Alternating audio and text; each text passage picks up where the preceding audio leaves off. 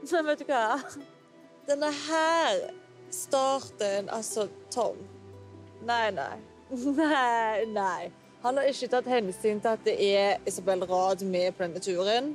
Jeg kjente at når vi begynte å gå oppover det fjellet i dag, og du virkelig bare blir kasta ut i noe som er så tøft, da kjenner jeg bare at Nei, det er ikke for meg. Og så håret mitt nå. Kjenn på det her. Det er helt Tova, ja. Det er Tova. Det er Tova hår. Er dere stolte av barna deres nå? Hæ? Hør på barna våre, sa far. Ludringen fra de små. i sengen nå. Ja. Begynner å bli seint nå. Men dere, skal vi ut i sånn eh, konkurranse i morgen? Håper jeg jo ikke. Vet det? Er ikke det ganske gitt, da? Hvem som ryker ut nå? Det er jo én som vil hjem. Det er jo Kim Kardashian vil jo hjem.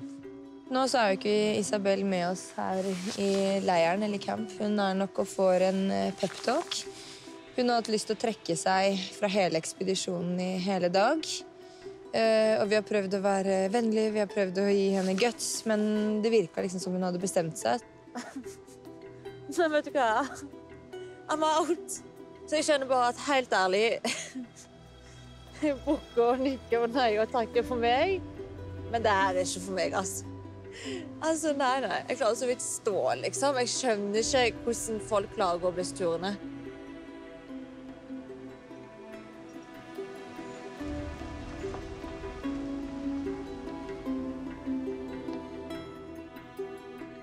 Eh, Er vi enige om at du ikke snorker da, Henrik? Ja, da er vi enige om det. Selvfølgelig er vi det.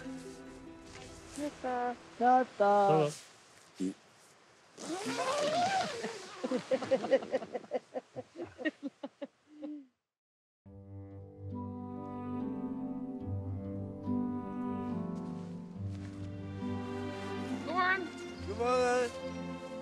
Det er jo en i minus der borte, da. jeg må finne sokkene mine inni her. Er jeg vet ikke hvor Isabel er.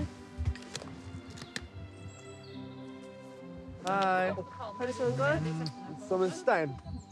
Hvordan tror du det går med mm, Isabel? Hun ligger sikkert på stranda og teller og drikker rosé. Sekken har jo stått her da, hele natten. Ja. Så den er eh, pakket og klar til tur da. Men uh, Er det de som har pakka den til tur? Nei, det er jo vi, det var jo den vi Bærte. Vi var, i var i går. Ja. Uh, Den er ferdigpakka. Den ble aldri upakka. Nei. Nei. Veldig sånn trist sånn derre Ja, men Det er trist trist det, bare, det bare står der sånn Det tomt og ensomt. Er det det siste vi skal få se av Isabel? Nei. Liksom? Nei. Hun må jo komme tilbake, liksom. Tror dere ikke det? Hva tid, du? Jeg veit ikke.